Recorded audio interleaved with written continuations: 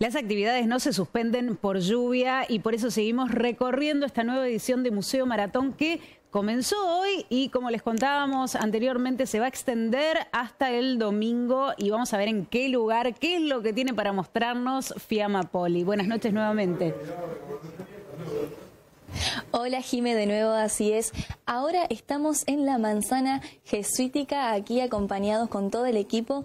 Y bueno, la verdad, un gran lugar para recorrer, para venir en familia, para venir también con los chicos. Uno de los tantos espacios que forman parte de este programa de Museo Maratón. Pero bueno, tenemos profesionales que nos van a explicar bien en profundidad de qué se trata esto. Estamos con Priscila. Priscila, bueno, muy buenas noches, Priscila.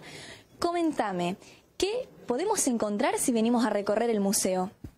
Bueno, el Museo de la Manzana Jesuítica eh, se compone de salas. Hay eh, la sala del observatorio que aborda todo lo que fue la cuestión astronómica que se estudió eh, en su momento y estas salas que estamos en las que estamos ahora, que son la sala de literatura, la Academia de Física y la Academia de Química, además de la de taxidermia.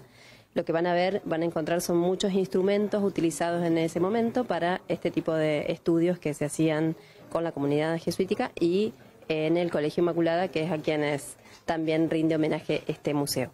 Bien, si bien comenzó hoy, pudieron ver frecuencia de personas, niños, ¿qué es lo que se observó?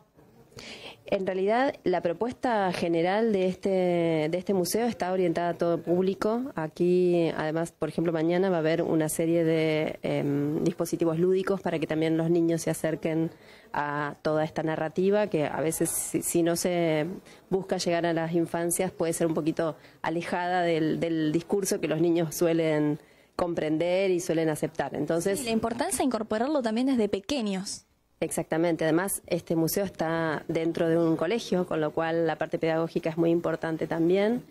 Eh, de hecho, se nutre constantemente el trabajo con los estudiantes del propio colegio, así que sí, es un museo que busca llegarle a toda la comunidad y da cuenta de eso la cantidad de visitantes que tiene año a año en los momentos en los que abre y sobre todo en las noches de los museos y en la Museo Maratón ahora. Bien, la Museo Maratón comenzó hoy viernes, se extiende hasta el domingo. ¿Cuáles son los horarios? Los horarios son hoy viernes en un periodo nocturno, abrió a las 20 horas y va a cerrar a las 24. Mañana sábado comienza a las 10 de la mañana para los que se levantan temprano y hay muchas actividades eh, que si la lluvia lo permite se hacen al aire libre, hay un recorrido en bicicletas, hay, una, hay visitas por el espacio público. Eh, y por la tarde también hay muchas actividades, muchas que están orientadas a las infancias, así que toda la familia va a poder recorrer espacios. Y también hay un horario nocturno de 20 a 24. El domingo, en cambio, solo va a ser vespertino desde las 15 hasta las 20. Bien, Gise, bueno, conocer un poco cómo fue organizar esta gran actividad desde adentro.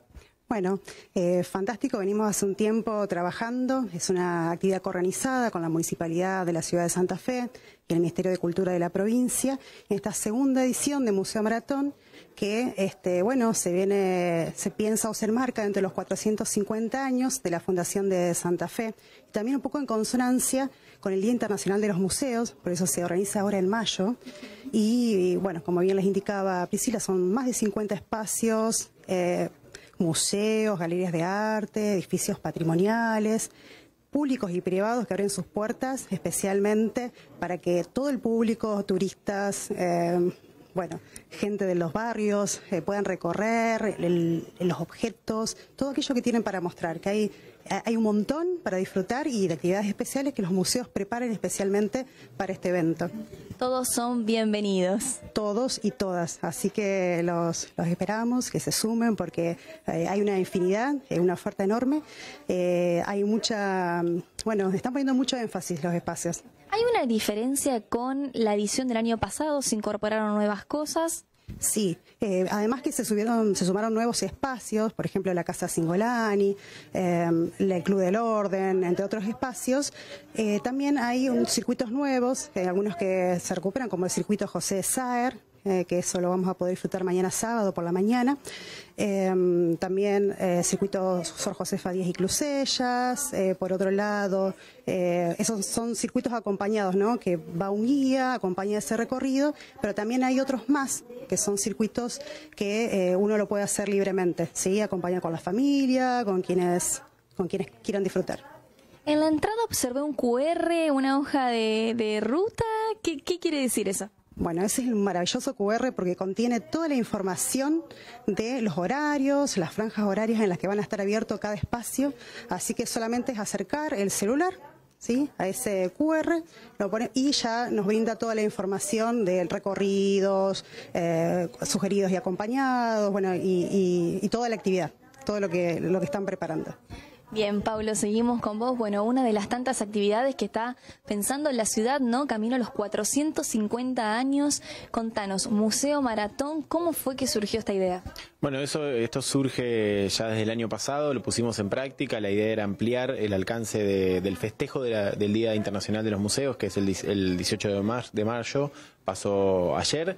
Eh, la idea era darle una ampliación a ese festejo y lo hicimos el año pasado con dos jornadas completas. Este año sumamos una jornada más. Estamos empezando hoy para terminar el domingo, o sea que podemos decir sin temor a equivocarnos que vamos a tener 48 horas corridas de museos abiertos, de espacios a recorrer, de la ciudad convertida en un gran escenario público para que, para que el visitante, el turista o también el santafesino y la santafesina la recorran de una manera distinta, la descubran de una manera distinta a la ciudad, como, como decían las chicas, con muchos recorridos urbanos, paseos en bicicletas, paseos al aire libre, actividades programáticas que va a haber en los más de 50 espacios que abren sus puertas especialmente, sobre todo como está pasando en este momento, con el atractivo y la singularidad de recorrerlos en horarios poco habituales, eh, como es la noche de, un viernes o de un sábado. Así que muy entusiasmadas y entusiasmadas entusiasmado con esta propuesta, que ya en su segunda edición demostró un crecimiento notable y una diversidad de ofertas muy interesante.